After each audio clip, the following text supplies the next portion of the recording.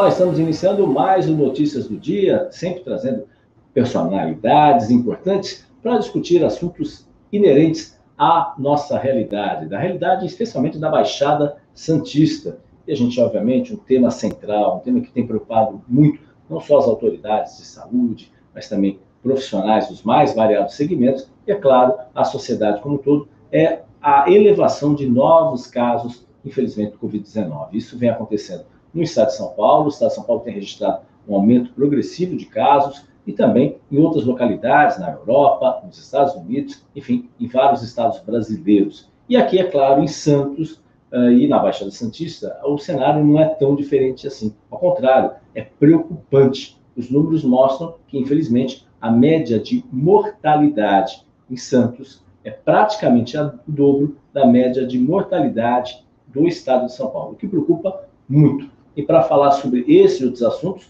um dos convidados especiais, que já participou aqui do Notícias do Dia e volta gentilmente para falar conosco, é o médico infectologista Marcos Caseiro, que é professor da, da Faculdade de Medicina da Uniluz e também médico do Hospital Emílio Rivas e também do Hospital Guilherme Álvaro em Santos.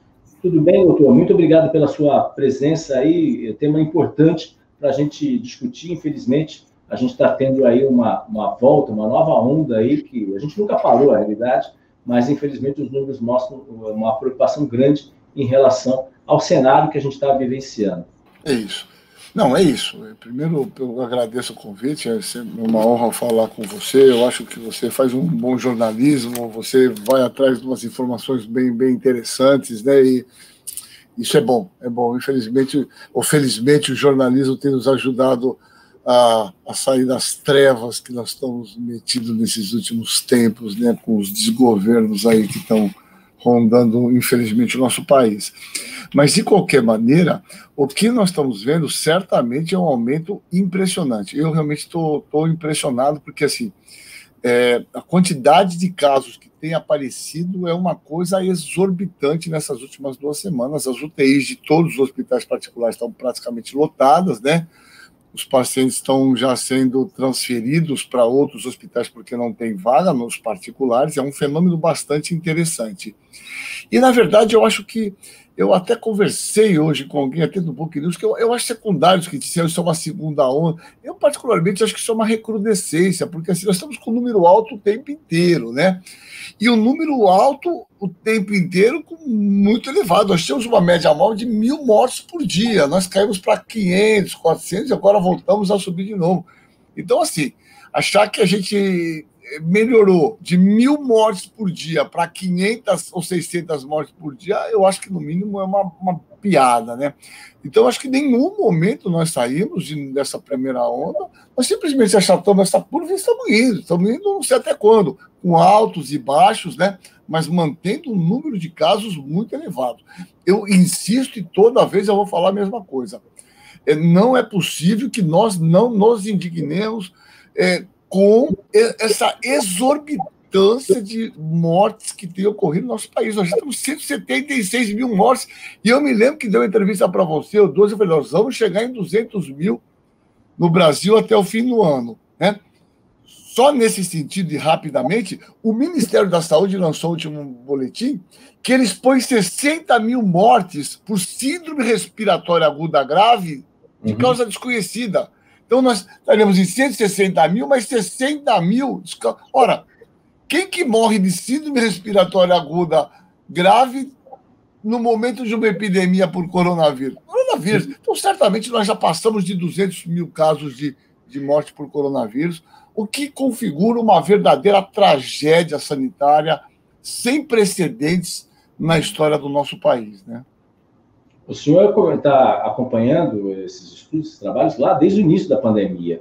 O senhor comentou muito claramente isso, esse índice de 200 mil. O senhor imaginava, na, no fundo, no fundo, o senhor imaginava que a gente ia chegar no final do ano com esse cenário? E aqui, especificamente aqui em Santos e na Baixada Santista, que Santos, infelizmente, a gente vai falar sobre isso também, uh, é uma coisa impressionante. No, no, primeiro momento, quando eu fui até chamado pela secretaria e mostrar, porque os dados.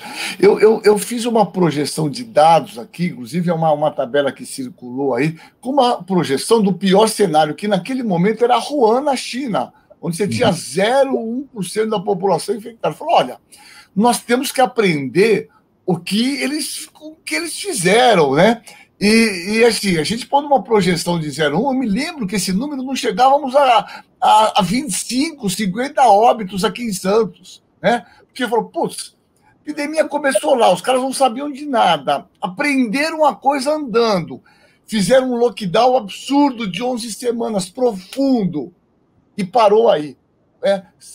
4.500 casos, 6 mil casos na China, um país de mais de um bilhão de habitantes a pergunta é: nós não aprendemos nada, nada, nada, nada com essa experiência lá. Depois o vírus foi para Europa, né? fez um estrago lá na Itália, na Espanha, também não aprendemos nada. E ele chegou aqui com, simplesmente com ausência nenhuma de política pública no sentido de nós frearmos essa epidemia. Como está acontecendo nesse momento? Olha só o que eu vou falar para você. Se você vai para qualquer país viajar hoje, tinha uma amiga da minha filha que estava aqui, veio de Israel, está voltando, vai ficar 14 dias em quarentena lá, cole suave. Se você for para Cuba, você paga 30 dólares quando você pisa lá em Cuba, escolhe suave de vigilância, você fica em quarentena quatro dias e depois mais 10 dias antes. O Brasil, eh, na Irlanda, ele pôs no, no, no consulado da Irlanda, tá lá, você entra na internet e vê eles convocando as pessoas para visitarem o Brasil, porque o Brasil não tem quarentena. Veja a, o nível da irresponsabilidade. Fala, vem para o Brasil, vem fazer turismo aqui, porque aqui nós não temos quarentena. Então, você veja bem o negacionismo, que obviamente culminou nisso. Olha só, e não me estendendo, já estou, viu? O, olha o que eu vou falar para você. Você sabe quantas pessoas morreram de dengue no Brasil com 20 anos de epidemia? Você tem ideia?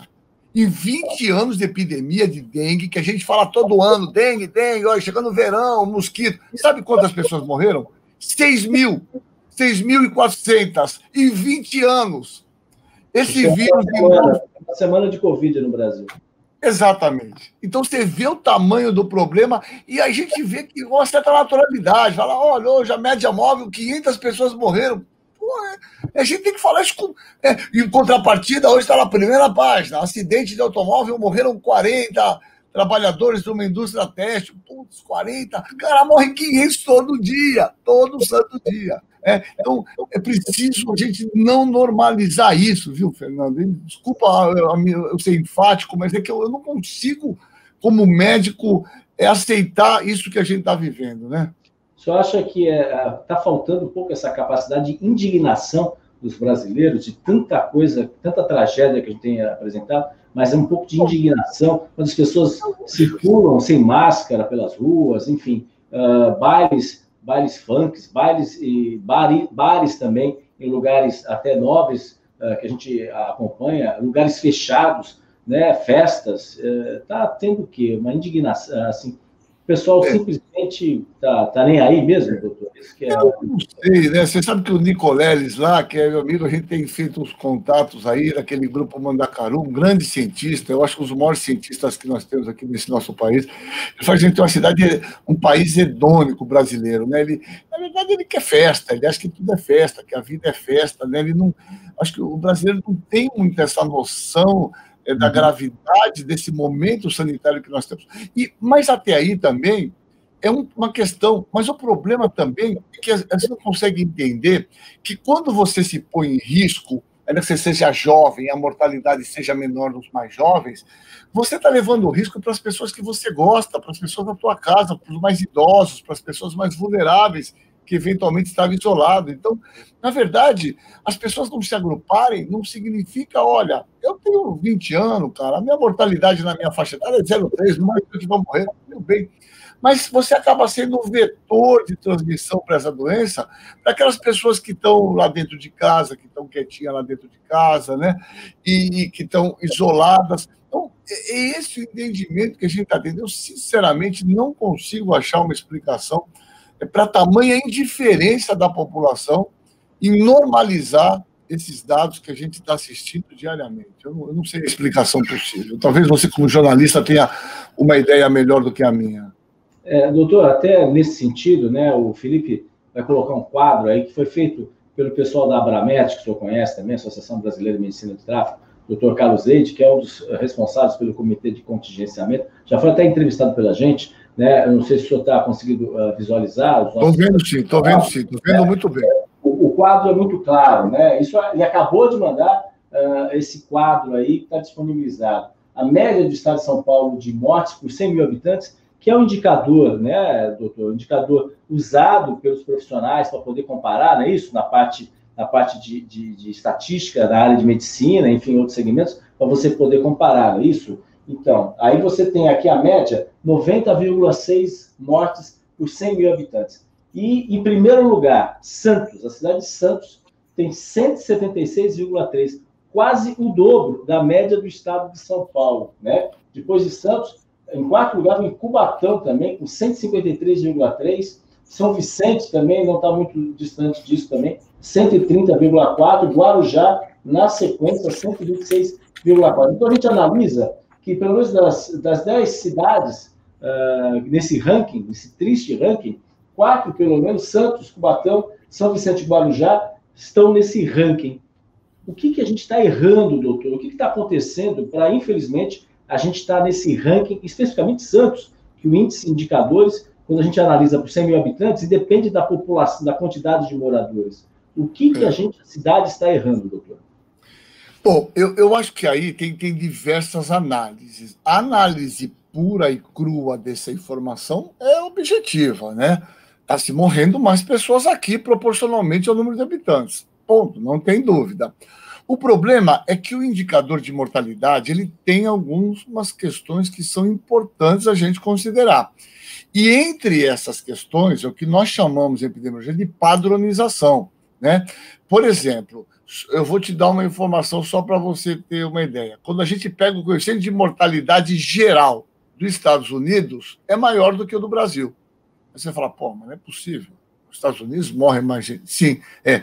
Mas quando você estratifica a mortalidade que nós chamamos padronizada por faixa etária, de que as pessoas morrem lá mais com mais idade, numa idade mais avançada. Né? Isso chama padronização. E é o mesmo que acontece nisso. Nós temos uma população aqui muito mais idosa. É, eu, eu não sei, certamente tem alguns desses municípios que têm população idosa também, a gente precisaria ver. É, mas a gente sabe que a vulnerabilidade na população mais idosa é maior do que na população com menor idade. Esse pode ser um fator explicativo, mas que eu acho que ele não por si não explica tudo, não. Eu acho que você pegar cidades do interior, você deve ter pessoas com muito faixa etária alta também, em grande número. Uhum. É, mas eu acho que tem uma segunda questão importante. É, eu, eu acho que nós temos uma total desarmonia na qualidade da assistência médica nos nossos serviços de saúde. Né? Eu acho que assim, uma coisa é a faixa etária, a padronização, mas outra eu acho que eh, nós não temos aqui uma conduta harmônica dos profissionais de saúde. Então a gente vê, na verdade, as condutas mais arbitrárias. Veja, aqui em Santos ainda, as pessoas que estão atendendo na linha de frente no pronto-socorro, que a maioria são jovens, jovens recém-formados, né? É, eles continuam prescrevendo cloroquina, ivermectina, nitazoxanida. Então, veja, isso está completamente, isso está completamente fora de qualquer lógica é, é, de conduta médica aceitável. O Brasil é o único país do mundo, algumas localidades, que prescreve esse tipo de medicamento achando que isso serve para alguma coisa. Né? Você não precisa ir longe, vai para São Paulo, passa num hospital razoável lá, vê se vão te prescrever esse tipo de coisa. Então, primeiro é a conduta. Segundo, é o, o grande divisor de águas da mortalidade é a gente tratar precocemente aquelas pessoas mais vulneráveis. Uhum. E nesse sentido, eu acho que eles estão comendo bola também. Eu comentei um caso, eu encaminhei um paciente ontem com sobrepeso, 140 quilos, né? Fizeram a gasometria mostrando uma saturação de 70, o normal é 98, e mandaram o cara embora para casa, com febre há três dias, com sobrepeso. Né? Isso, isso é uma, uma é uma barbaridade. Né? É, bati o pé, ninguém foi lá e internou hoje. Então, eu acho que estão é, é, é, errando muito na questão da condução adequada. Não há uma normatização. Então, cada local faz diferente. E, na verdade, se deixou na mão desses plantonistas essas condutas, o que é muito complicado isso, porque, na verdade, é, muitas vezes o indivíduo se baseia em informação de WhatsApp né, e não em literatura científica adequada. Então, eu acho que esse pode ser um segundo fator explicativo que, no meu ponto de vista, é muito importante também.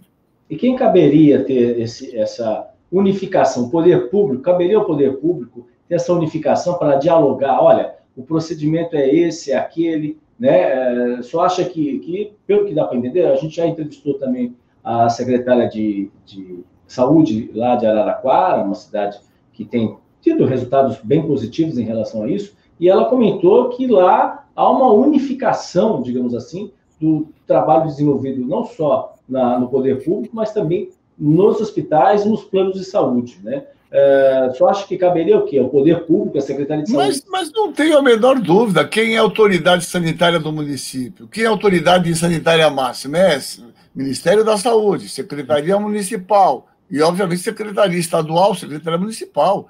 Então, caberia a Secretaria Municipal de Saúde, e eu acho que tinha que estar, na verdade, nesse momento, em todo o tempo, numa dinâmica semanal, né, de trabalhar continuamente com esses profissionais, no sentido de, de trabalhar com conduta, discutir melhor evidência, o melhor procedimento, eh, tratamento.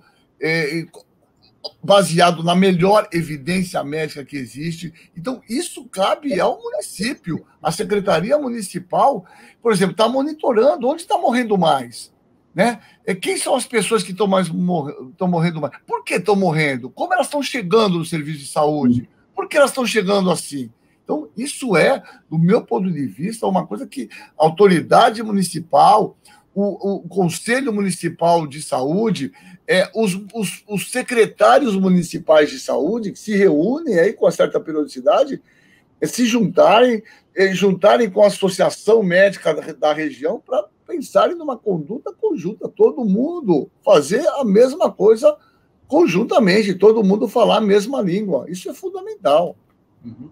O que o senhor está comentando também chama atenção, porque dentro daquele quadro lá que, que o Felipe tinha colocado lá, Uh, a cidade de Praia Grande, Praia Grande, ó, Praia Grande, a média de Praia Grande é inferior à média do estado de São Paulo. interessante também, uh, lá em Praia Grande, essa política de, de internação já mais precoce, evitar qualquer paciente que tenha uma, um, alguma comorbidade, algum problema, já tentar internar uh, antes que o quadro se agrave, isso ficou muito claro. Aqui, ao contrário, espera-se, que nem o relatou, isso tem vários e vários casos de pacientes que demoraram para ser atendidos, pelo que o senhor já, já comentou também, né? vários, vários casos, e à medida que chega eh, esse, eh, esse, cidadão é internado, às vezes já não tem mais muito o que fazer, não é isso, doutor? Não, é isso. É, não é que eu tenho que fazer. Na verdade, a grande abordagem que nós aprendemos no, no tratamento dos pacientes com Covid é a abordagem precoce que é heparinizar esses indivíduos, é utilizar corticoides de maneira adequada, é, desde que eles tenham um quadro moderado, internado com oxigenoterapia. Isso modificou a história natural para eles não terem que ir para UTI. Então, se você perde esse time, esse paciente vai chegar numa fase já mais adiantada, com imenso desconforto respiratório, que esses procedimentos já não vai adiantar, ele vai ter que evoluir para uma intubação. E, obviamente, o paciente que é entubado, ele já diminui a possibilidade de melhora clínica dele muito grande, porque a mortalidade é muito alta. O paciente, quando fica entubado, é muito grave isso. Ele fica sedado o tempo inteiro. Então, ele tem que ser manipulado o tempo inteiro. Ele faz escara, ele faz infecção secundária, né? Ele fica desacordado o tempo inteiro, fica muito vulnerável a outras coisas. A mortalidade é muito alta de um paciente entubado. Então, o que tem que acontecer é não perder esse time. Agora, só fazendo uma questão, Praia Grande tem uma questão importante que tem que ser lembrada. É, Praia Grande é um dos poucos serviços da nossa região que tem quase a plenitude chamada de medicina da família.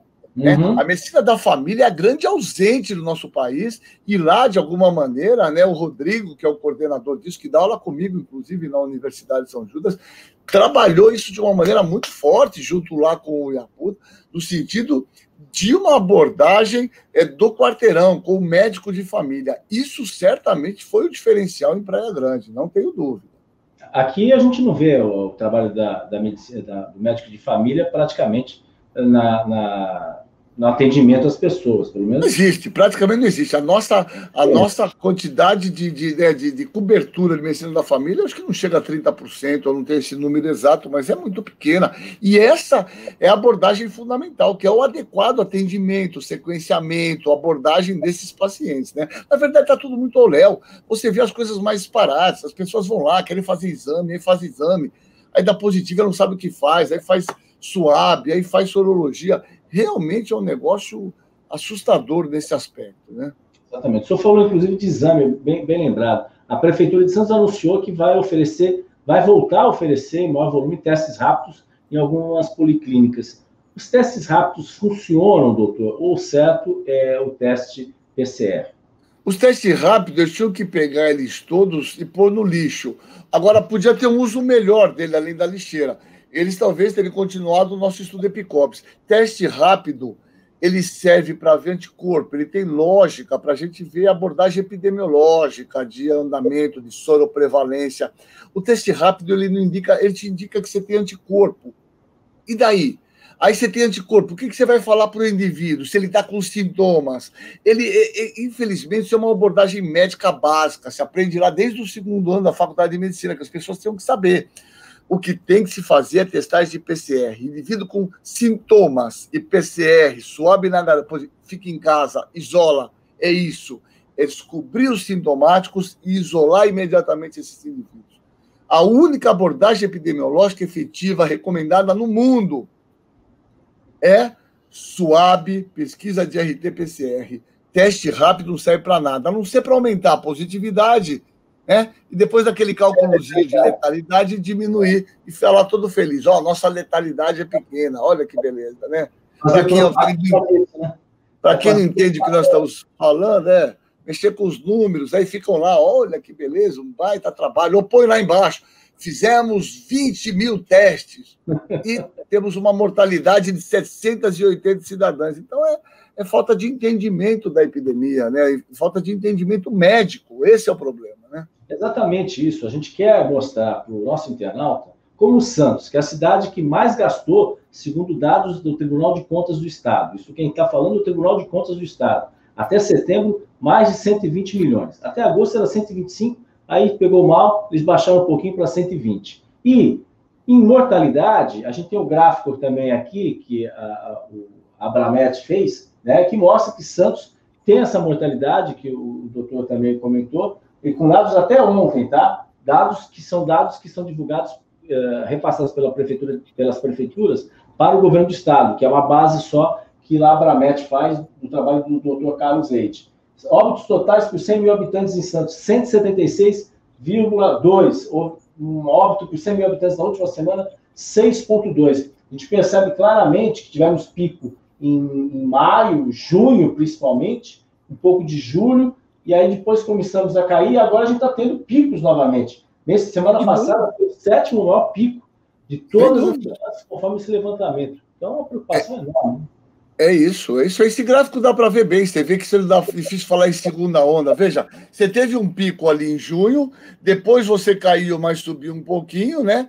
E aí você pega ali é, um novo pico dia 23 de setembro, refletindo talvez aquele feriado prolongado você uhum. teve uma estabilidade e voltou a fazer pico agora. Né? Então, veja, em nenhum momento a gente ficou numa situação confortável de uma. Veja, nós estamos com uma média de óbito muito grande, semanal em Santos. O, a, menor, a melhor média que você está vendo aí de mortes numa semana é um morto por dia, que é 11 de novembro, que é seis na semana. Né? É um absurdo. Né? Todo dia morreu um indivíduo. É uma coisa que a gente não pode achar que isso seja normal, não é verdade? É muita gente morrendo, né?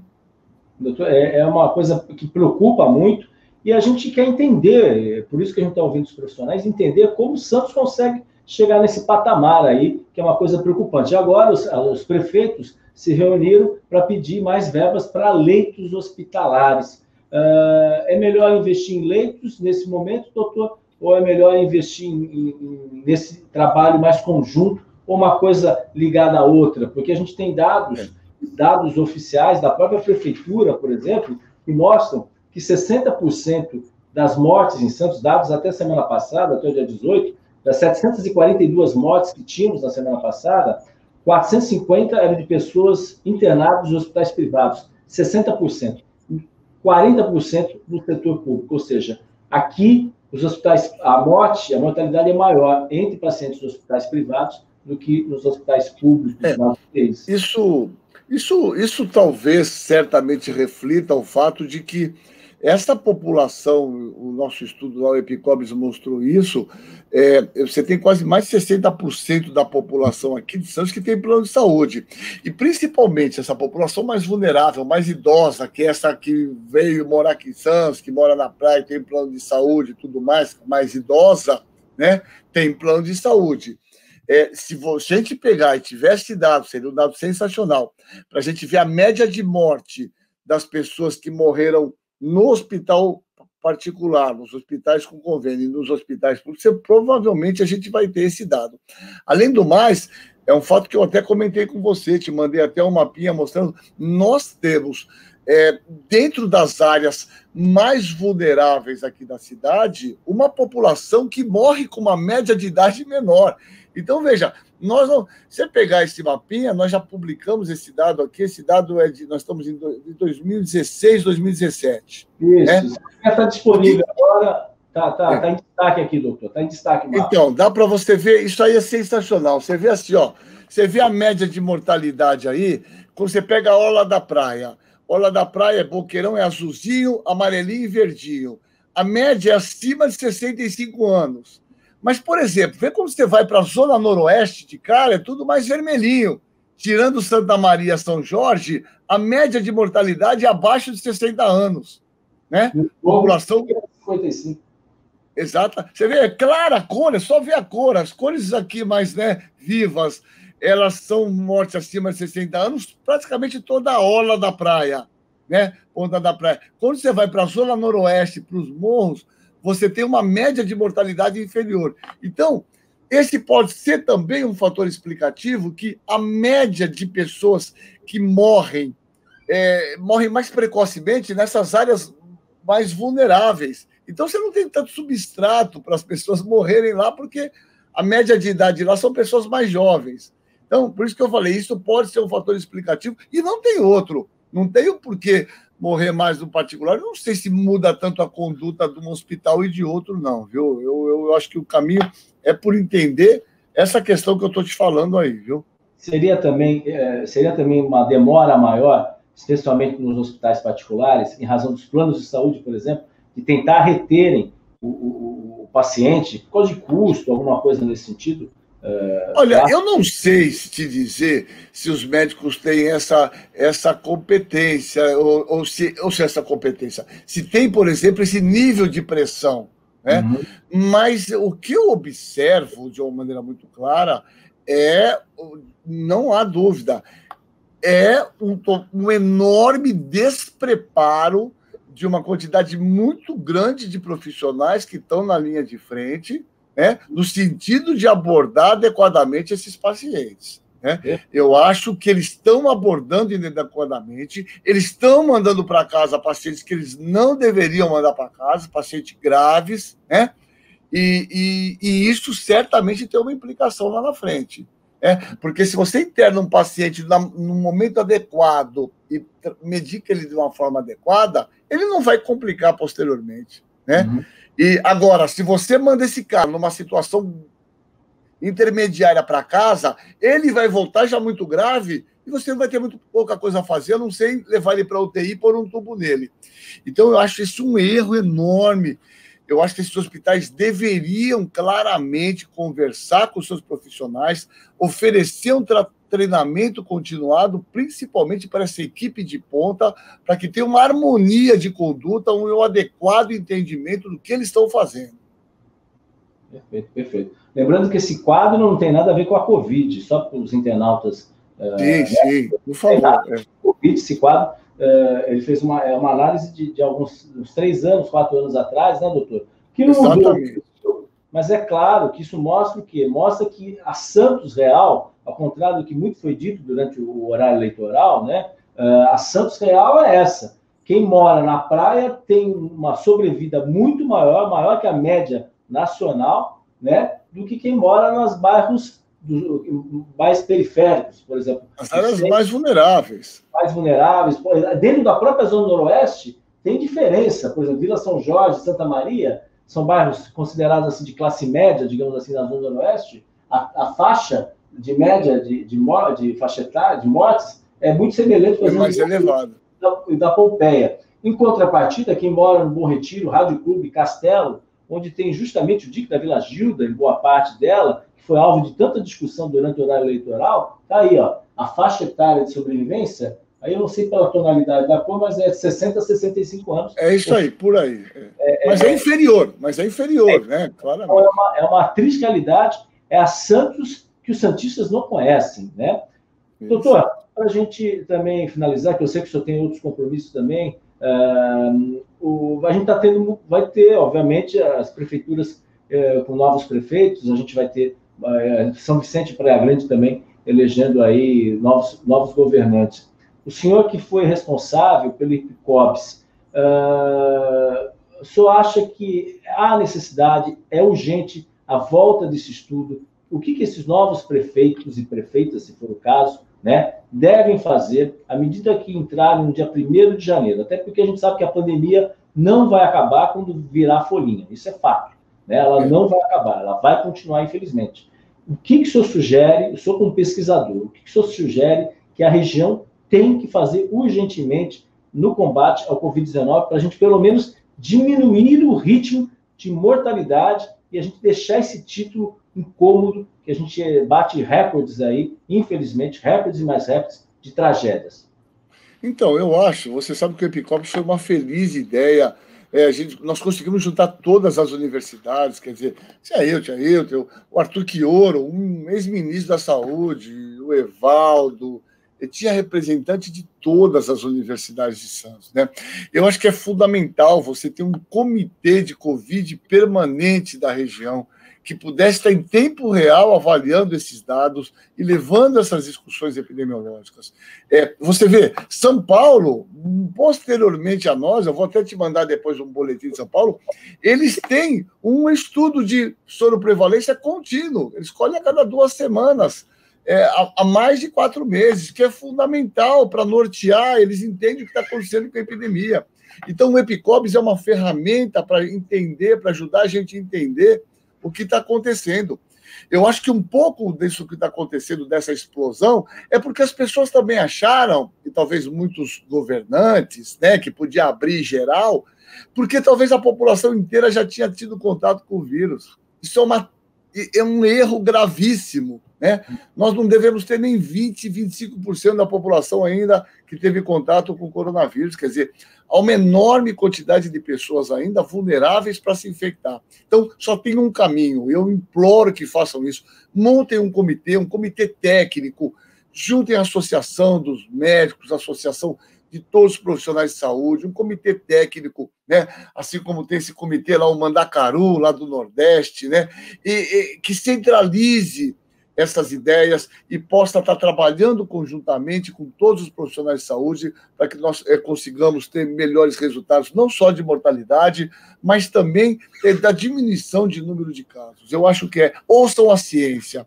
Né? A ciência propiciou isso que nós estamos fazendo aqui. Estamos falando à distância, por, né, é, através de uma maneira virtual. Isso é ciência. A ciência é a única possibilidade que nós temos é de sair disso com, com a menor mortalidade e, e, e menos, é, eu diria, menos trágica o final dessa história. É só a ciência que vai poder nos ajudar. Perfeito, doutor. Só a última perguntinha, que até é recorrente em decorrência dessa, desse crescimento de casos. Uh, existe muita dúvida se alguém pode ou não pode ser reinfectado. O senhor, como médico infectologista, existe essa possibilidade em relação ao Covid-19 ou não? Não, essa possibilidade. Aliás, eu estava lendo um artigo sobre isso que eu estou preparando. Eu vou fazer uma apresentação. Olha aqui, ó. Evidência de é, reinfecção após recuperação né, de uma doença do coronavírus moderado. Está aqui. Foi publicado. É, foi publicado agora, no dia 19. É, é, isso existe, existe. Mas a impressão que os dados mostram é que isso é, tem pouca importância epidemiológica, a reinfecção. Que ela existe, ela existe, já está publicado, tem esse, tem outros trabalhos documentados, ela existe. Mas epidemiologicamente é pouco importante. O nosso estudo do Guilherme Álvaro mostra de uma maneira inequívoca que as pessoas permanecem com anticorpo alto, que parece que a partir do sexto mês, nós estamos observando no nosso estudo, que esses anticorpos começam a cair. Todas as doenças podem ter reinfecção e podem não te produzir imunidade, nós temos dezenas de exemplos. Né? A sífilis, por exemplo, não te dá imunidade permanente, hepatite B, C, você pode virar um portador crônico. Todas as doenças, isso não é a normalidade, mas isso é uma pequena quantidade de pessoas que não constrói anticorpos e, eventualmente, pode se reinfectar. Isso é secundário na epidemia e isso favorece a ideia de uma vacina quando você garante uma vacinação em massa, que talvez seja em torno de 70% de pessoas positivas numa região, a gente garante a proteção indireta para essas pessoas que sejam eventualmente vulneráveis por não conseguir construir uma imunidade para esse vírus. Né? Muito bem. Muito bem, doutor. Eu agradeço muito sua participação, muito Legal. esclarecedora em relação, sempre trazendo informações relevantes, importantes um olhar regional também, com toda a sua experiência que o senhor tem, né, como profissional, como professor, né, é, agradecemos muito aí a sua participação para comentar esses dados, né, que a gente chega a essa constatação, essa triste constatação, como Santos. E a gente pega Santos porque a gente está falando da cidade de Santos, mas isso vale para outras cidades também, mas basicamente aqui. Como Santos consegue é, falar tanto e da, da sua baixa letalidade, mas na sua mortalidade não faz a lição de casa, que é o mais importante, a mortalidade, porque não adianta a gente, até porque a, a maioria das pessoas sequer são testadas, são assintomáticas, então elas não são testadas, né? Então muita gente acaba, acaba de certa forma, é um engodo, muitas vezes, que são uh, colocados por algumas autoridades políticas que insistem, né, que falar sobre isso, mas na prática o que vale é a mortalidade. Infelizmente, nós temos esse péssimo título que é a, o maior índice de mortalidade no estado de São Paulo, entre as cidades com mais de 50 mil habitantes, pelo menos, né? E é aí, no ranking, né, doutor, no ranking das 10 cidades desse triste ranking, pelo menos quatro estão nesse ranking, né? Então é mais triste ainda a gente saber sobre isso. Doutor, muito obrigado pela sua Legal. Participação. Legal. A gente vai voltar a falar sobre a vacina. É isso aí. Eu estou sempre correndo, mas estou sempre à disposição. Parabéns pelo teu trabalho. E é isso aí. Continuamos conversando, tá bom? Prazer estar aí contigo. Um grande abraço para você e para todos. Eu. Um abraço também, doutor. Até a próxima. Tchau. Muito obrigado. Então, tchau, falamos... tchau. tchau, tchau, doutor. Falamos com o doutor Marcos Caseiro, médico infectologista, professor uh, da Universidade de São Judas, também da Uniluz, Universidade uh, a Luzida também, que gentilmente falou com a gente e foi muito esclarecedor a respeito do que estamos passando. Afinal, uma pergunta básica: como Santos, a cidade que mais gastou proporcionalmente no combate ao Covid-19, tem a maior taxa de mortalidade por 100 mil habitantes? Quem está falando isso são os números, e inclusive os números divulgados aí pelo estudo do Dr. Carlos Eide também, que já deu entrevista para a gente se você quiser, basta acessar o nosso canal no YouTube, você acessa lá e tem entrevista com o Dr. Carlos Eide, que ele explica aqueles gráficos. Naquela época, os números eram bem diferentes. Infelizmente, naquela época, Santos já liderava o número de casos, que foi em outubro, se não me engano, essa entrevista, e hoje continua liderando, só que índices e números ainda maiores. Enfim, o Boc News tem esse espaço, essa participação, para fazer você refletir, fazer você pensar e criticar, analisar, uh, corrigir, enfim, esse é o ponto de vista também, e a gente sempre trazendo autoridades, pessoas que possam contribuir para uma cidade melhor, uma região melhor, enfim, para uma sociedade melhor. Agradecemos a sua audiência, a sua audiência. Não esqueça, se você quiser, basta nos acompanhar no Facebook, facebook.com.br Jornal News, ou também no nosso canal no YouTube, youtube.com.br TV. Inscreva-se É importante, mais de 5 mil pessoas já se inscreveram e já recebem todas as atualizações dos vídeos lá postados. Você pode também, se quiser, se tiver Smart TV, assistir na sua Smart TV pelo YouTube. Muito obrigado pela sua audiência, muito obrigado pela sua participação e até a próxima aqui no Notícias do Dia.